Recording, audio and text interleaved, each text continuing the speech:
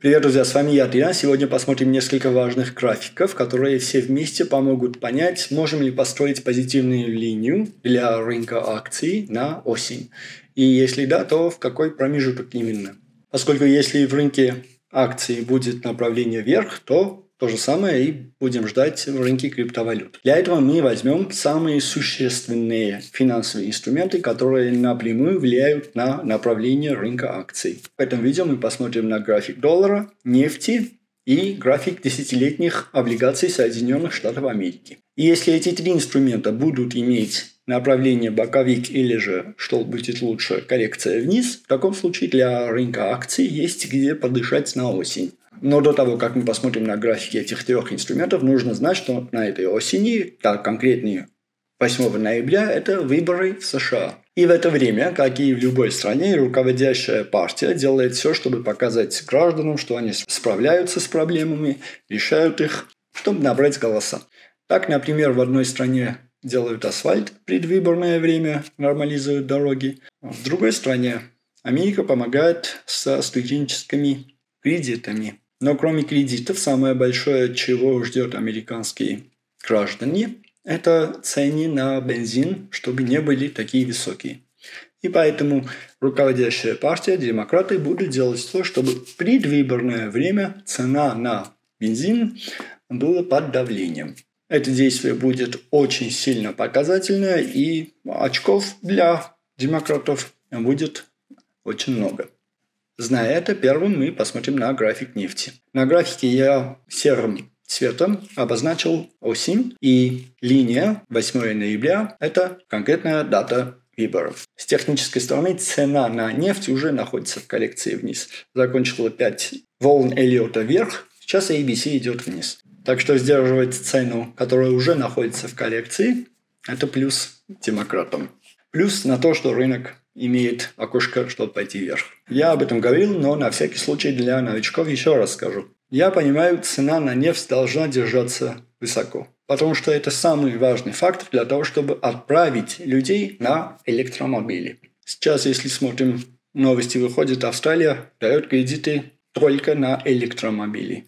Если хочешь взять автомобиль на бензин или дизель, банк тебе кредитов не дает. Или же в Америке, не помню в каком штате, но субсидируется какая-то часть, если ты берешь электромобиль, а не дизель или не бензин. Так что для направления в электросторону цена должна быть держаться высоко.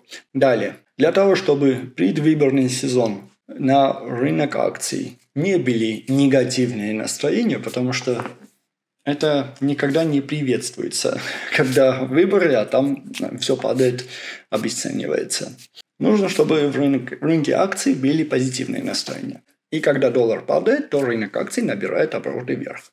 И на графике доллара мы видим, первое, доллар уже на недельном графике находится на overbought территории. Второе, доллар или уже закончил, или заканчивает последнюю волну Эллиота вверх, после чего пойдет на коллекцию. Это тоже попадает именно в временной промежуток предвыборный сезон. Если доллар будет иметь коррекцию вниз. Это должно быть видно на других парах с долларом. Если посмотреть на фунт-доллар пару, видно, что на индикаторе RSI на недельном графике очень хорошая дивергенция. То же самое видно и на евро-доллар паре. На евро-доллар у меня была позиция вниз. Но я эту позицию закрыл с плюсом. Потому что как и на фунт-доллар, так и на евро-доллар есть довольно сильная дивергенция на недельном графике. К теме не сильно относится, но график рубли и доллар тоже очень хороший, и рубли имеют хорошие шансы еще раз пойти вверх. То же самое и рубли-евро, кстати. Вернемся. Так, у нас есть нефть, которая находится на коррекции вниз, доллар, которая находится на коррекции вниз, и другие пары с долларом формулируют дивергенцию – что говорит, что та коррекция на доллар, которую мы видим в графике, что скоро будет, она имеет очень большие шансы быть. Кроме этих двоих, нефть и доллар, мы посмотрим еще и график 10-year yield, десятилетние облигации США.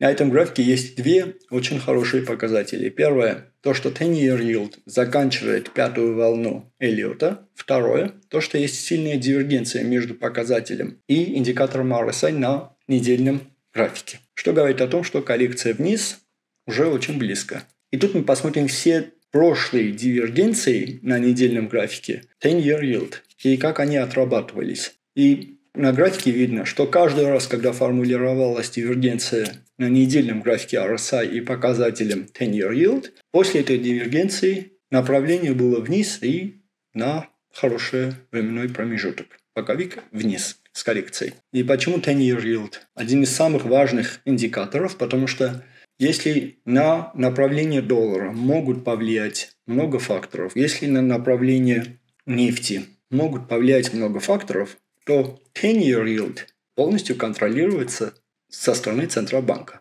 Контролируешь 10-year yield, контролируешь все волнения большие в рынке акций. На 10-year yield идут самые большие деньги, если в рынке акций все плохо. Итак, давайте подытожим.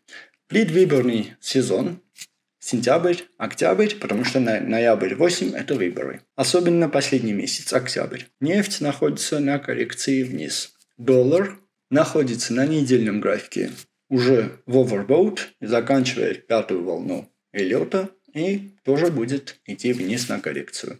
10-year yield имеют сильную дивергенцию и заканчивает пятую волну Эллиота и пойдет на коррекцию.